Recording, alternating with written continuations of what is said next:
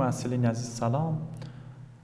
به ادامه درس هایی که ما و شما در قسمت اره یا صفحه خواندیم و مثال های هم کار کردیم میاییم امروز در مورد قسمت اره های کار می‌کنیم که در اینجا ما و شما مثال های دیگه را که از مثال های گذشته ما و شما مانده او مثال ها را کار می‌کنیم. مثالی که قبلا ما و شما داشتیم برنامه بنویسید که تعداد از حروف انگلیسی را روی screen نشان بده.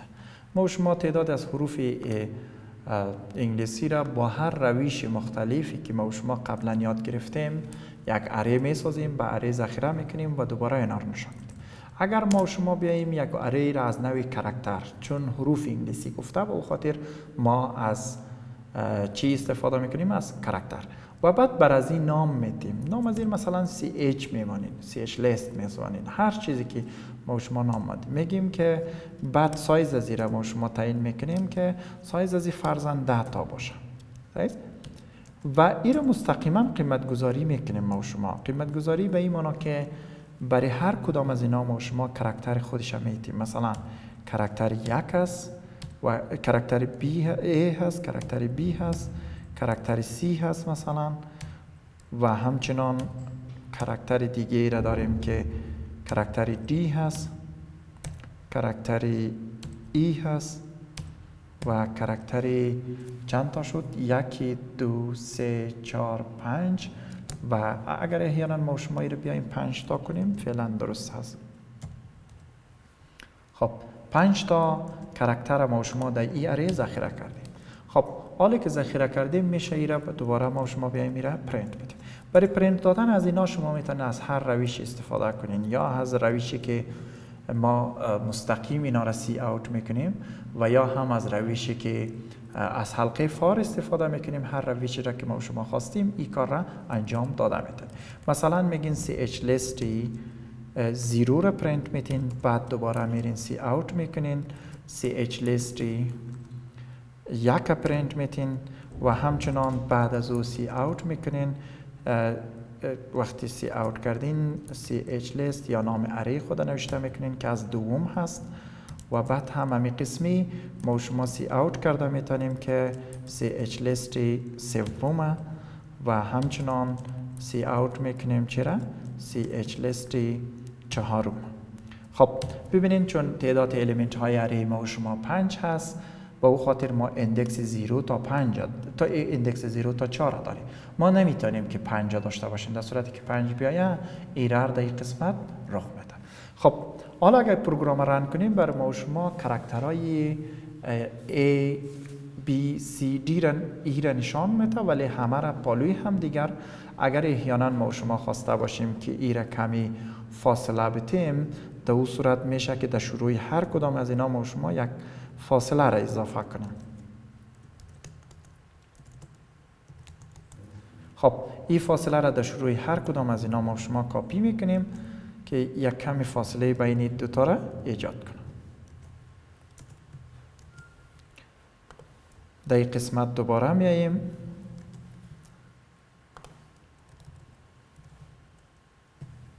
خب همه از اینا را همین قسم یک فاصله را قبل از اینکه data پرینت شود ما می‌گذاریم. ببینید data یی را که ما شما حال پرینت می‌کنیم A, B, C, D, E هست. یا مو data هایی که ما شما در یک array ذخیره کردیم و همه را هم با یک فاصله دار در این قسمت آورده. چیز دیگه ای را که ما شما می‌تونیم به جای از این می‌تونیم از یک حلقه for استفاده کنیم. حلقه for را می‌گیریم که int i مساوی میشه به صفر تا i کوچکتر است از چی؟ length منفی یک. به او خاطر ما را پنج می‌گذاریم. یعنی مساوی علامت مساوی را نمی‌گذاریم.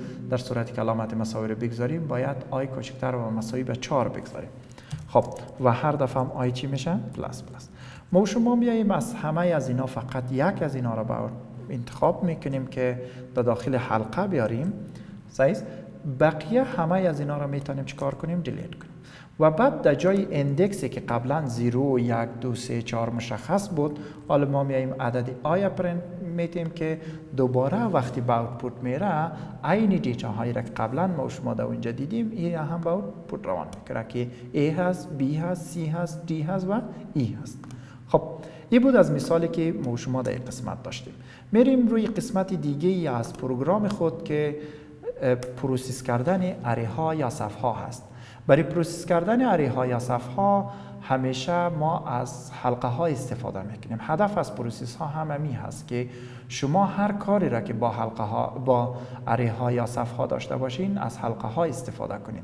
قبلا ما شما در شروع lecture هایی یا در شروع lecture ی که در ای فصل داشتیم گفتیم که array یا صف فقط به خاطر یک data نیست حتی به خاطر دو data نیست به خاطر سه data نیست. اگر به خاطر یک data یا دو data یا سه data باشه میشه ما شما به جای از از variable ها استفاده کنیم. زمانی ما می‌تونیم از یک array یا از یک صف استفاده کنیم که ما تعداد زیادی از data ها را داشته باشیم. پس به خاطر process کردن تعداد زیادی از data ها اینا را ما چی به output بدیم چی به input بگیریم همه از اینا به صورت manually کار بسیار مشکل هست. به او خاطر هست که ما برای هر کاری که روی یک حلق روی یک array انجام میدیم بعد از این ما شما می‌تونیم از حلقه استفاده کنیم. دیگه manually یا statically کدام کاری را انجام نمیتیم مگر اینکه با حلقه. بیایم در اینجا ما شما چندین مثال مختلفی را به خاطر از این کار می‌کنیم. یکی initialize کردن array که از یک input بگیریم. بعد initialize کردن یک array از طریق یک random value و همین قسمی ما شما ادامه میتیم چندین مثال دیگه را هم کار می‌کنیم. خب در اولین مثال ما شما یک array می سازیم که دارای مثلا 5 یا 10 تا element باشه و این 5 تا یا 10 تا الیمنت از user ها بگیره و قیمت گذاری کنه. خب ما میایم روی از که اول array خود معرفی می‌کنیم. به خاطر array معرفی کردن اول type array را مشخص می‌کنیم که از کدام تایپ باشه بعد بر array خود نام میتین مثلا نام از array را ما می‌تونم ده هست سایز و بعد سایز ازی array را مشخص می‌کنم که سایز ازی array را من فعلا ده تعیین می‌کنم و بعد قیمت ها را ما چون از user می‌گیریم یا process کردن data ها در روی یک صف هست بیاییم از حلقه for استفاده کنیم که انرژی آی مساوی میشه به zero تا i کوچکتر است از چی از لیست و هر دفعه هم i چی میشه؟ plus plus خب ما شما حلقه for را که در اینجا استفاده کردیم. میاییم از user می‌خواهیم که برای هر کدام از اینا به صورت جداگانه data را بده تا ما برای هر element از این ذخیره کنیم. میگیم please enter a number وقتی number ما شما از user گرفتیم این number مشخصا cin می‌کنیم. در کجا؟ در روی array array ما شما نامش چی است لیست است برای کدام index ش برای index i چرا index i به خاطر که i در دور اول صفر است. index صفر از قیمت گذاری شود. i برای دور دوم یک است. index یکم از قیمت گذاری شود. i برای دور سوم دو هست که index دوم از قیمت گذاری شود. به او خاطر ما شما اینا را قیمت وقتی این program run کنیم data ها را از ما شما می‌خوایم. خب دیتا ها را از ما شما می‌خوایم ولی ممکن هست که دیتا هایی را که از ما شما خواسته ای را در یک اره ذخیره کنه ولی پس بر ما شما نشان داده نمی‌تونه. مثلا ما 56 78 90 87 65 43 56 45 همه قسمی تمام تا ده عدد ما شما وارد می‌کنیم وقتی تمام ده عدد وارد شد ببینین که کامپیوتر هیچ کاری را انجام نمیده. چرا؟ به خاطر که ما گفتیم فقط یک array را create کو data ها را از user بگیر و روی ازو ذخیره کو. ولی تا هنوز هیچ چیزی به کامپیوتر نگفتیم که ای را پرینت کنه. پس ما میاییم در قسمت دیگه از دستورات خود که بگوییم data هایی که در داخل امی array هست دوباره برای ما پرینت کنه. میگیم i مساوی به صفر تا i کوچکتر است از ده و هر دفعه هم i چه شوند plus plus. خب برای پرینت کردن از اینا ما شما cout استفاده می‌کنیم و اول نامی array خود میتیم و index زیر i تعیین می‌کنیم. i به خاطر که اول index یکم پرینت بده دوم سوم چهارم پنجم همین قسمی به ترتیب تمام است. چون همه از اینا را پشت سر هم پرینت میتم و شما خوب است که در این قسمت مثلا یک فاصله به اندازه 3 space یا 4 space بگذاریم تا اینکه data ها را از همدیگر فاصله بده. خب وقتی program run کنیم ببینیم که از ما و شما data را می‌خواید این ده تا data را وقتی ما وارد کردیم به ترتیب همه از اینا را دوباره پس عین data ها را برای ما شما نشان میده. ببینید این قسمت امو data ها data یی را که ما اول 56 وارد کردیم در array دوباره در 56 گذاشته. امی قسمی 34 را دوم 56 78 90 98 تمام دیتا ها به مو ترتیبی که ما به کامپیوتر وارد کرده بودیم به مو ترتیب دوباره برای ما از طریق اره نشان داده میشه. خب میایم روی مثال دیگه ای که حال ما در این مثال آمدیم دیتا ها را از یوزرها گرفتیم.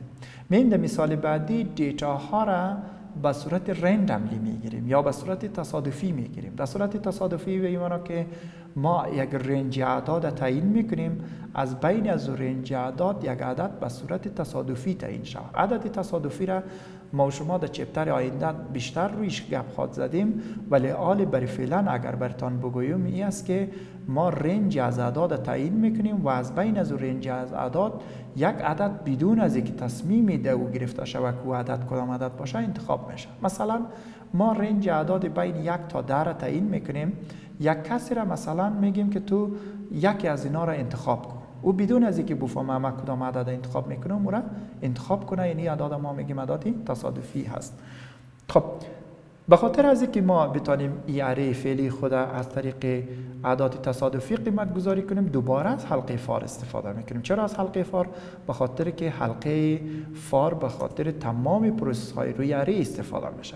فقط تنها قسمتی را که ما از اینجا حذف می‌کنیم قسمت message هست که ما به user میدیم و بعد پیش از اینکه ما وارد حلقه شویم ما و شما چون عدد تصادفی داریم srand را استفاده می‌کنیم.